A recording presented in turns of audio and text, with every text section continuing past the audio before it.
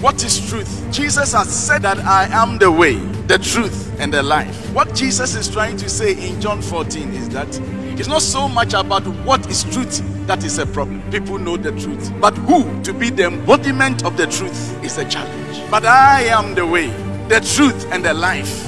In other words, truth is the way, truth is the life, and the life is the truth, and the way is the truth. Truth is the soul of every nation.